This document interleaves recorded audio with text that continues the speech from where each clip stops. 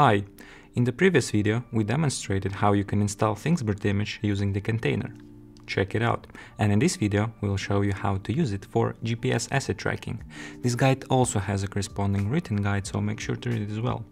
We already have a ThingsBoard server up and running within the CHR, and we also have a company delivery truck that we would like to equip with a GPS receiver. Let's say LTAP Mini.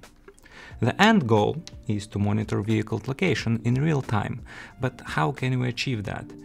Pretty easy to be honest. We would want to test this scenario within our local network first. To do that, you can connect LTAP via its Ethernet port to the CHR's network, or you can also connect it via the Wi-Fi client station mode or VPN.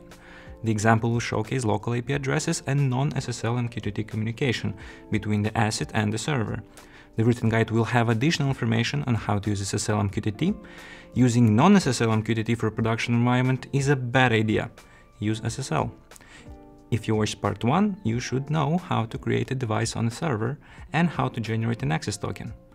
Do that and name the device, for example, LTAP.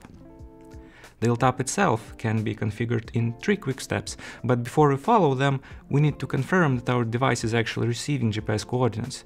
You can do that by navigating to the system GPS section using Winbox or Webfig, or with the help of the command that is shown on the screen, system GPS monitor once.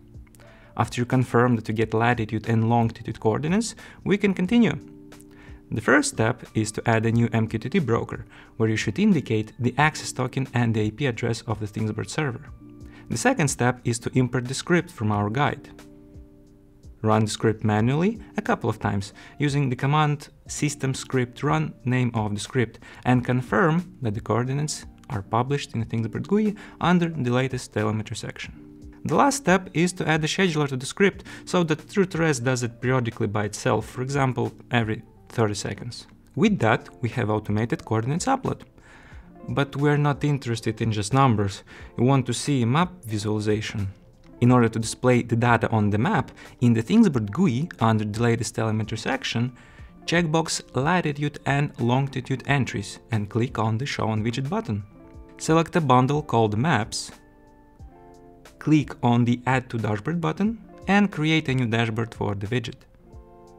Run the script once again from the RouterOS command line and go to the dashboard that you've just created. That's it, you're tracking your LTAP. After we implement SSL MQTT, set up LTE connection for the LTAP, install the LTAP into our vehicle and make sure that the server's MQTT ports are accessible by the LTAP, we will have a GPS asset tracking solution ready for production. Stay tuned for the next video and thank you for watching. Thank you.